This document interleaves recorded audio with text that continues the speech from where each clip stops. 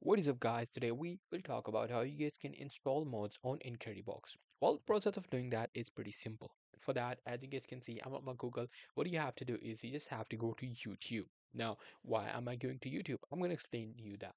So for that, you just have to go to YouTube and search for any of the mod that you want. So suppose you want an Incredibox, any of the, so I'm just going to search for uh, Incredibox and uh, let me just search for that. And then I'm going to search for mod you'll be able to see a lot of mod videos just popped up. Now here you just have to select the mode according to you. Suppose this is the mode that you want, you just have to open it up. Now, what you have to do is uh, here you just have to scroll down, go to the description. Now this is uh, this is going to be working in Android and PC, so you don't have to worry about anything. Suppose you want to download it for Android, just click on Android link and you can see the MediaFire link just popped up, just download it. However, you can do that for the PC as well. The MediaFire link for the PC will pop up and you just have to download it. Now, uh, for the Android, it will be like an APK file. You just have to install the APK and the mod will be done. And for the PC, it will be like an exe file. You just have to open it up and the uh, like mod pop-up screen will pop up.